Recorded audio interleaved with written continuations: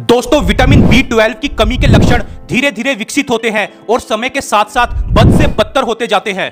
Vitamin B twelve की कमी होने पर शरीर में पंद्रह लक्षण दिखाई देने लगते हैं। पहला, बहुत ज़्यादा थकान, कमज़ोरी महसूस होना और चक्कर आना। दूसरा, मुँह या जीभ में दर्द होना। तीसरा, वज़न घटना। चौथा, हमेशा की तरह भूख ना लगना। पांचवा उल्टी, मतली या दस्त जैसा महसूस होना। छठा, त्वचा का पीला पड़ना। सातवां, हाथ पैरों में सुनपन झंझनाहट या सुई जैसी चुभन होना। आठवां, आँखों में धुंधलापन आना। नौवा, चीज़ों को याद रखने में दिक्कत होना, याददाश्त कमज़ोर होना और आसानी से भ्रमित हो जाना।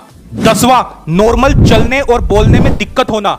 ग्यारहवा, उदास महसूस करना। बारवा चिड़चिड़ापन आना, तेरवा, किसी चीज़ को महसूस करने के तरीके में और बिहेव करने के तरीके में बदलाव आना। चौदवा, शरीर में रेड ब्लड सेल्स की कमी, यानी खून की कमी एनीमिया का होना। पंद्रवा हड्डियों और मांसपेशियों में कमज़ोरी आना।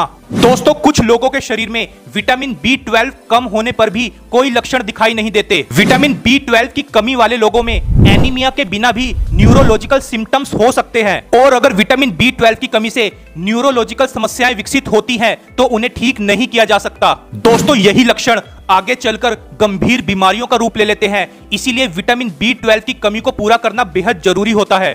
दोस्तों, सेहत से जुड़ी और भी ऐसी जानकारी के लिए आप चैनल को सब्सक्राइब कर सकते हो। वीडियो पसंद आए तो वीडियो को लाइक करना और दोस्तों के साथ शेयर करना ना भूलना।